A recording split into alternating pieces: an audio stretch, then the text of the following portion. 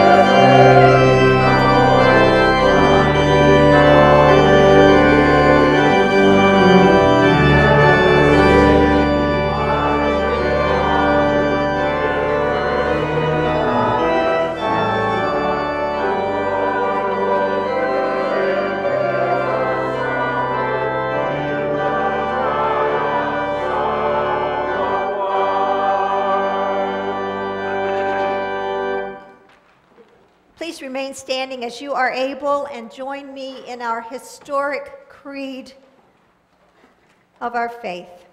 I believe in God, the Father Almighty, maker of heaven and earth, and in Jesus Christ, his only Son, our Lord, who was conceived by the Holy Spirit, born of the Virgin Mary, suffered under Pontius Pilate, was crucified, dead, and buried. The third day he arose from the dead he ascended into heaven and sitteth at the right hand of God the Father Almighty. From thence he shall come to judge the quick and the dead. I believe in the Holy Spirit, the holy Catholic Church, the communion of saints, the forgiveness of sins, the resurrection of the body, and the life everlasting. Amen. God is good. And all the time. Well, you didn't know you were going to have a test this morning to see if you could still use your hymnals. But, um, but we did. We, we did, and you passed the test. Thank you. Um, so hopefully the technical issues are, are over with. That's the only one. Good, good. Well, we are glad that you're here. Will you greet those around you and help us to make sure everyone is made to feel welcome this morning in worship?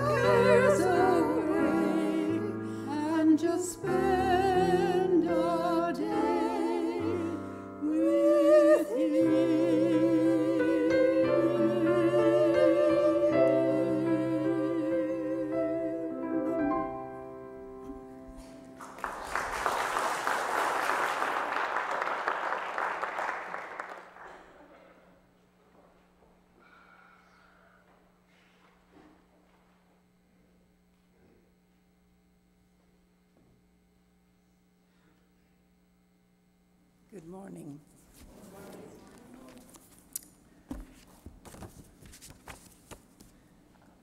I'm adding some to our scripture. I'm starting, it'll be Psalm 16, 8 to 11. Listen for the word of God. I have set the Lord always before me, because he is at my right hand. I shall not be moved. Therefore, my heart is glad, and my tongue rejoices. My body will also rest secure, because you will not abandon me to the realm of the dead, nor will you let your faithful one see decay. You make known to me the path of life. You will fill me with joy in your presence, with eternal pleasures at your right hand.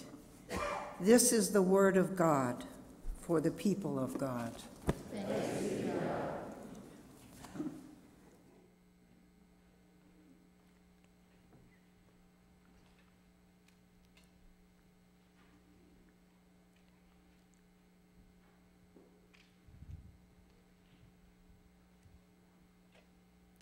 As the ushers prepare to come forward, may we reflect on that beautiful scripture, reflecting on the God who never abandons us, but gives us life and joy. And may we, in thanksgiving and praise to that God, give back our gifts, knowing that whether that gift is just one dollar or many dollars, it's an act of praise and worship to the God who loved us first.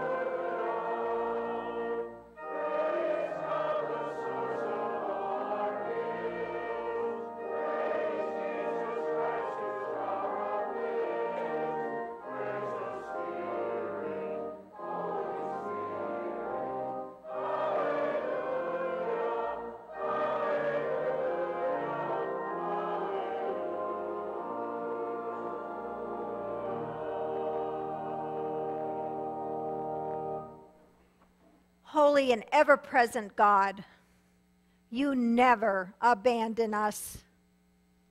You show us the paths to life and to joy.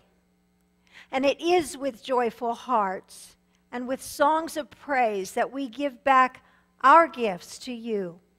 And we pray that they be used to build your kingdom and for your glory. It is in Jesus' name we pray. Amen.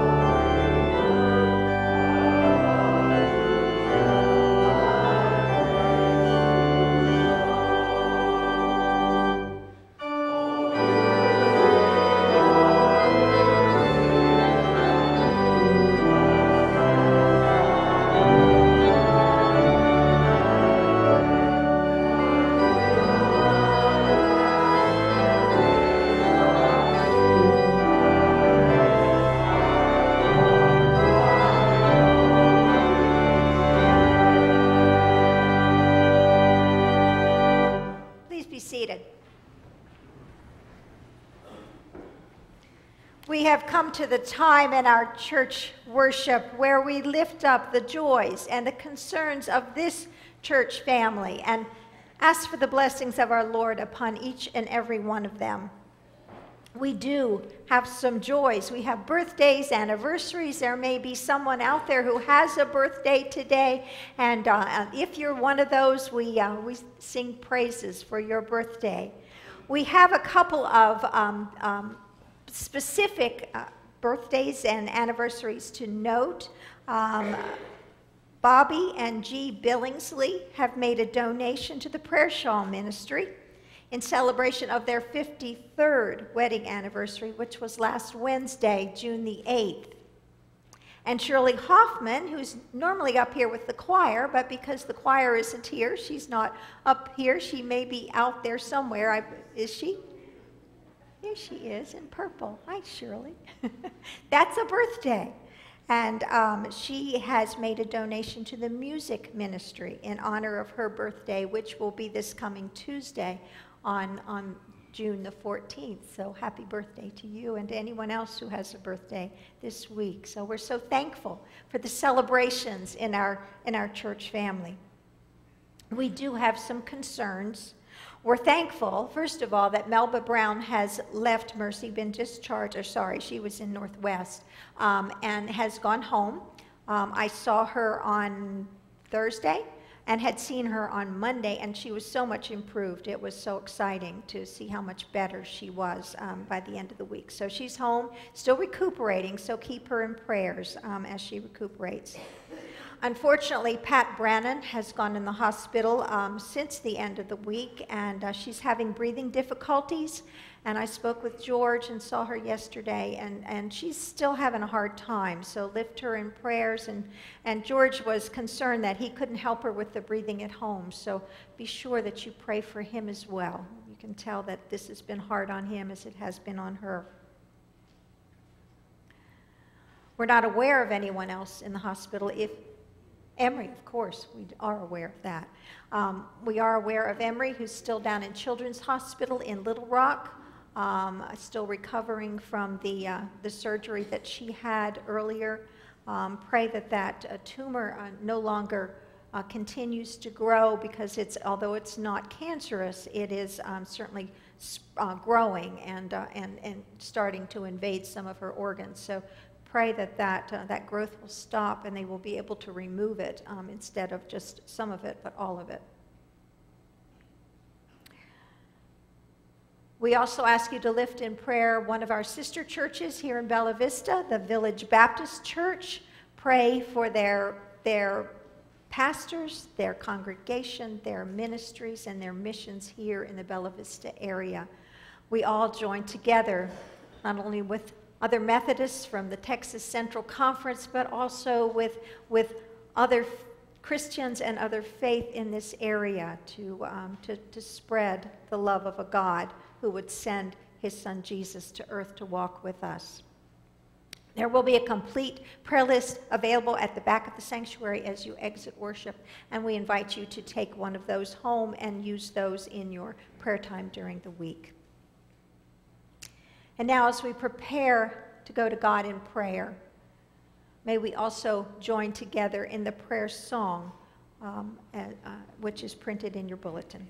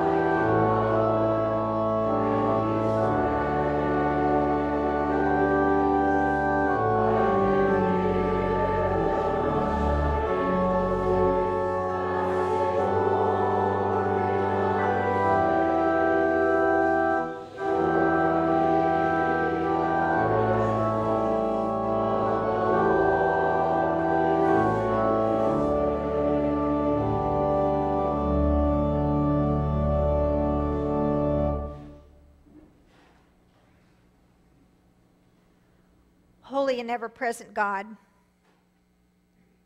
God who speaks our name.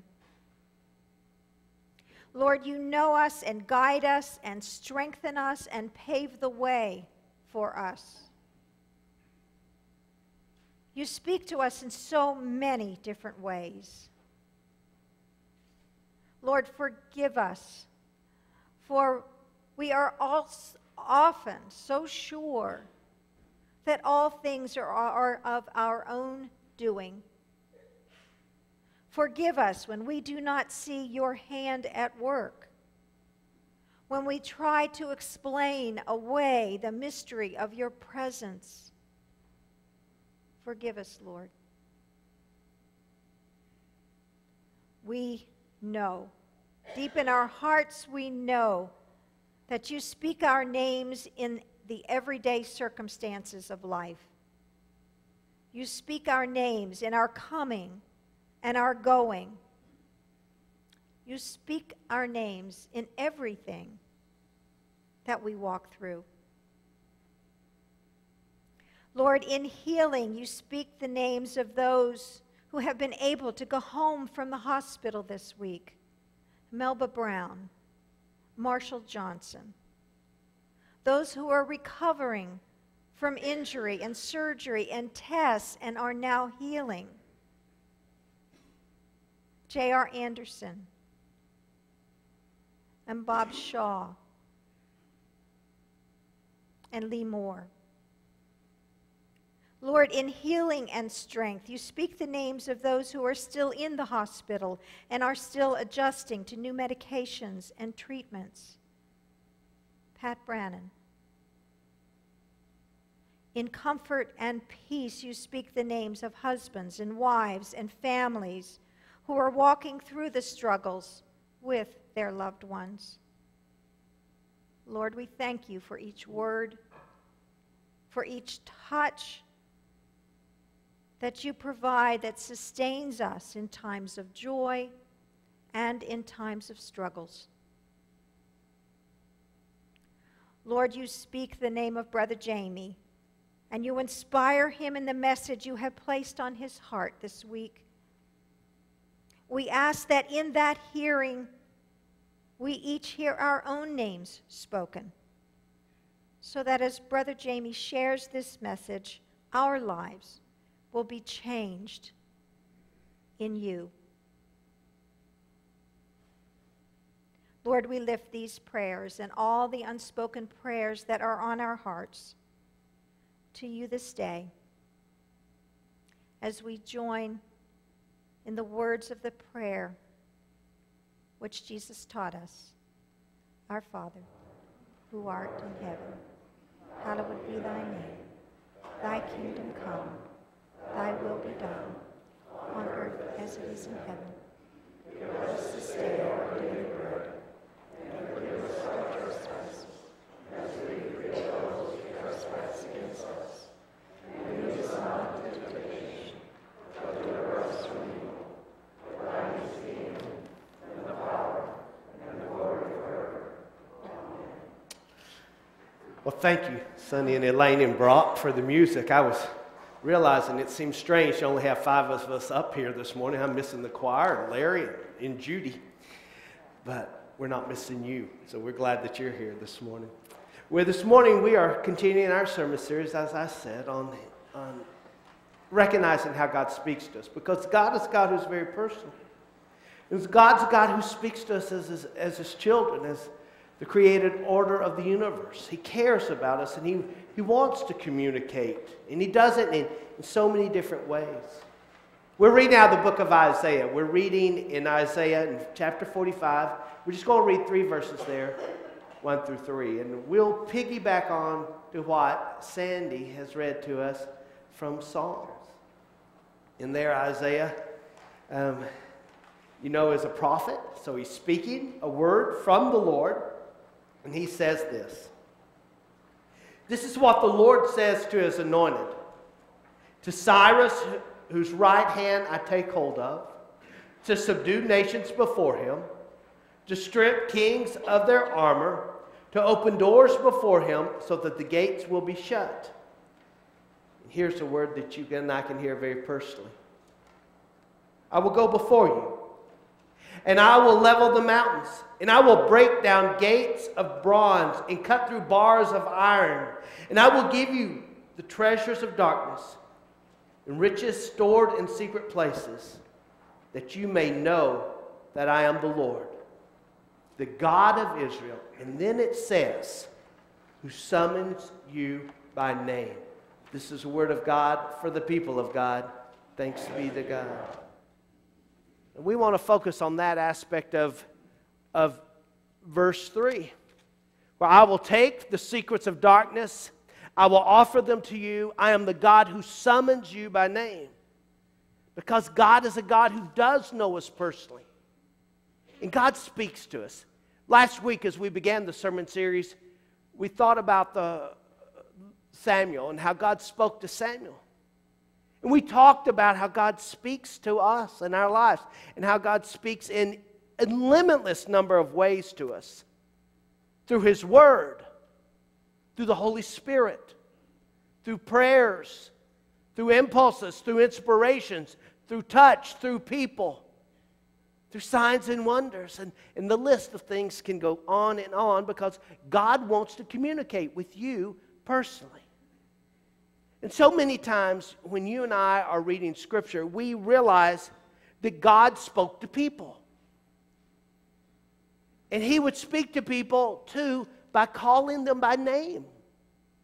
Now, when he wanted to get a hold of this little boy, this 12 year old boy who was ministering in the temple with the prophet Eli, he spoke to him and he said, Samuel, Samuel. Samuel responded. Our theme verse, 1 Samuel 3:10. Speak, Lord, for your servant is listening. He spoke and he heard. And then we know that when Mary Magdalene went to the tomb on that first resurrection morning, when she was locked in her grief and she was devastated what she had discovered that the tomb was empty her whole world was transformed when she heard the lord speak her name she thought he was the gardener but he said to her mary mary and when she turned around she saw it was the lord and when a former persecutor of christians one who had, who had sought to destroy the message of Christ, was on a road. His life was intersected by the presence of the Lord, and his name was called out Saul, Saul, in Acts 9 4. See, God knew each of these people, and He knew where they were in their spiritual journey. And just as He knows those same details about you, and He knows those about me, because He knows us personally, and God communicates with us personally. And God wants to communicate with all of us. He meets us all where we are. You know, you don't have to be that set apart person. It doesn't require a seminary degree to hear God speak. You don't have to be an expert in spiritual discernment to hear the voice of the Lord. You know, we think that God only speaks to certain people because they're more holier than we are. We see the ones he spoke to in Scripture, though, and then we suddenly realize that God just doesn't speak to the super faithful, He speaks to people. He speaks to all of us.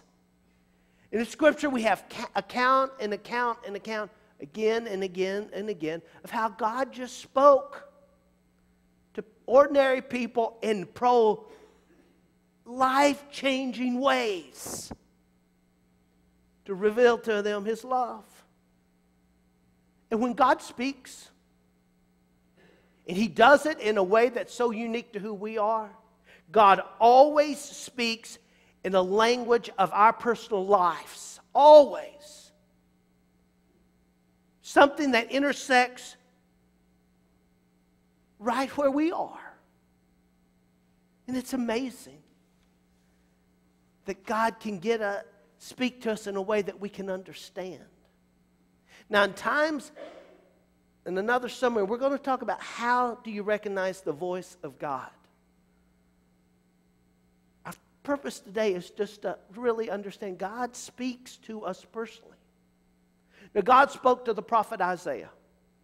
In Isaiah 40, 3 3, he says, I will give you the treasures of, dark, of darkness riches stored in the secret places, so that you may know I am the Lord, the God of Israel, who summons you by name. Who summons you by name. Maybe you have a, a time, an account, a testimony, a witness of when God spoke to you and you heard the Lord call your name. And if that's happened to you, you know how that transforms you. And it's not an experience that dissipates in a moment, but it is an uh, encounter with Christ, with the Lord, that lasts forever in your life. And it shapes you and it empowers you and it changes you and it calls you into deeper, deeper relationship with the Lord. Well, I invite you to turn your attention towards the screen and see what happens when a mother hears her child's voice.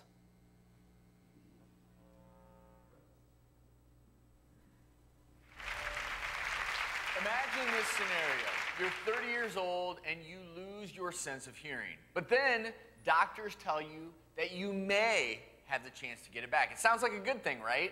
Well, for Dawn, making the decision was a bit more complicated.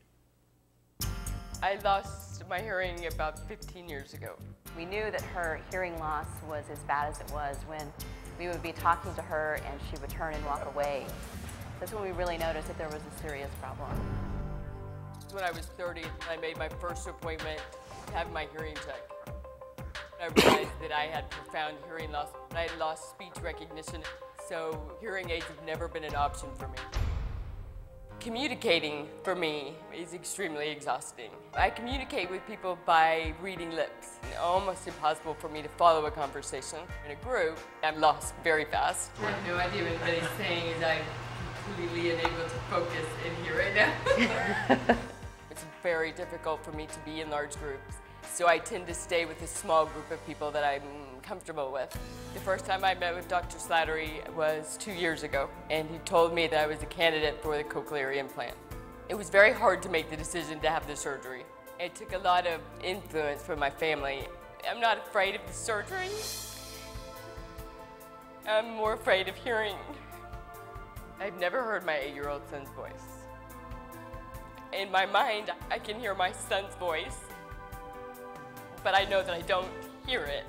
So maybe I'm afraid of what I will hear compared to what my brain tells me that I hear. Just yesterday, she was able to hear her eight year old son's voice for the very first time, and we were there to capture it. Dawn's activation went fantastic. She's going to leave here soon to go meet her son and hear his voice for the first time. I still haven't spoken to my youngest son, and so I'm looking forward to hearing him. She never heard my voice. I'm just really excited that she could finally hear. I'm nervous. I'm hopeful, but I'm also afraid. I guess I still have that fear of I'm not going to hear him. Hey, Mom, could you hear me? Yes.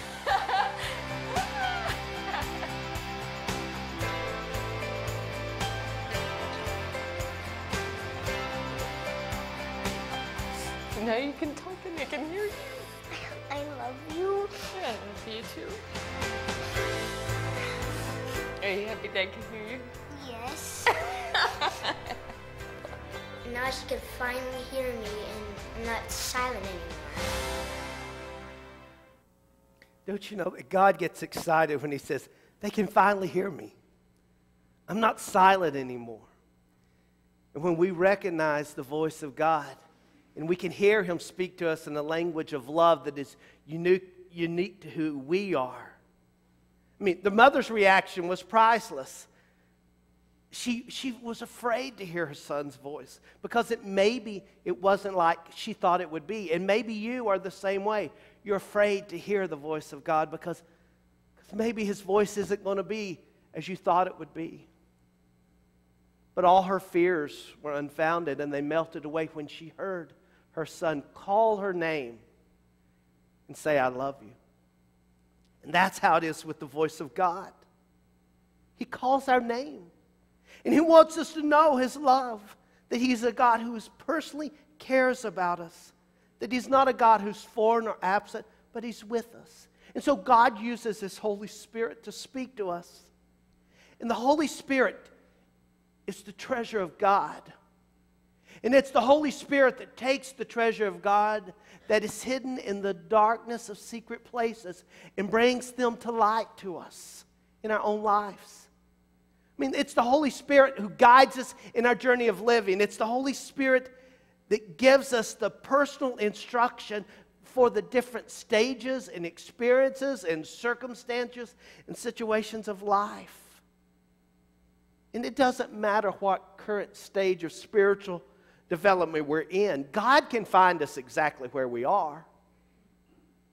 If He knows the very numbers of hairs on our head, how do you and I think that He does not care about where we are at the moment? And the Holy Spirit never communicates anything to us that is personally contrary to Scripture. Never. And so when God speaks to us, he speaks to us in any manner of ways to tell us of His love. And it's the Holy Spirit that confirms in us the love of God, that transforms our lives, that changes us from a point of shame and brokenness and sin to a point of rejoicing in encountering His holiness. And it's in love that God may be speaking to us so that we can have a changed life and a lifestyle, and our hearts can be changed, and our ways can be changed so that we become more like Him. And you know when this happens. You know this is happening because the feeling you get is not a feeling of, of despair, but it's a feeling of, of greater des- desire to be in a relationship with the one who loves you, and you will allow His holiness to transform who you are. Continually, we talk about how God changes us from the inside out. He goes into the secret darkness of our lives to work in marvelous and magnificent ways to change us from within that is revealed out. And He uses that, His Holy Spirit, to do it, and He speaks to us so that change comes about because He communicates with you. The Holy Spirit does. The Holy Spirit communicates to us the character of God so that we are changed. We're changed. Have you ever been, and I bet you have, and I find myself doing this more and more often, in a place where someone recognizes you, and as they're talking to you, you're looking at their face thinking, Who are you, and how do, I, how do you know me, and how do I know you? And it's hard to even focus on who they are or what they're saying because the whole time you're playing this game in your mind of saying, okay, say something so I'll recognize who you are. And sometimes you're successful, and that person finally says something, and you realize who they are, and you're so happy. But then there are those times, right? That you've completed the conversation, you've said, had a good day, and you turn around and you're still trying to figure out who they are. You know what that's like. And you know the joy of discovery, and you also know the frustration of still having to wonder. But that's not how it is with God. You will know. You will know. And so don't be fearful. And don't be afraid. And, and don't try to set and stew on how will I recognize. You will know. Because if God loves you enough to speak your name and to communicate from God's heart to your human heart, God will have a way to help you to recognize His voice. And in a few weeks, that's the very topic we're going to talk about. How do you recognize the voice of God? So, you know what I have to say to you? Stay tuned this summer and don't go on vacation. Let's pray. Father, we thank you that you speak to us in any of us in this room you care about. For we are fearfully and wonderfully made in you. And so, Lord, we invite you to speak to us. As we've sung this morning in the hymn, Lord, speak to me. We invite you to speak to our hearts. And Father, we are amazed that you would call us by name. And that you would say to us, Peggy or, or Bill or, or Ralph or Mona or, or John or, or Jane or Jan or whatever, you would call us by name. And that your love is so great that you never hide your love from us, but you continually reveal your love to us. You've done it through your Son, Jesus Christ. And you use the power of the Holy Spirit to reveal to, your love to us. And so, Father, speak to us so we may know. May we say the words to you that Samuel said Speak to me, Lord, for your servant is listening. May that be the attitude of our hearts and of our lives It's in the sovereign, loving name of your Son, our Lord, and our Savior Jesus Christ, we pray. And together we say, Amen. This morning, our closing hymn is, is one of your favorite hymns. It's hymn number 593, but it'll be on the screen, I hope. It's, it's Here I Am, Lord. And as we share in this hymn, know that the altar of the Lord is here for you to be in a time of prayer or a time of personal prayer, or if you like to be prayed with by Brenda or myself, it would be our privilege to pray with you. If you'd like to become a part of this church family, we would love to welcome you here this morning on transfer of your membership from another church family or on your profession of faith in Jesus Christ, who is Savior and Lord of your life. We invite you to stand. We invite you to sing. And we invite you to come this morning as you feel led.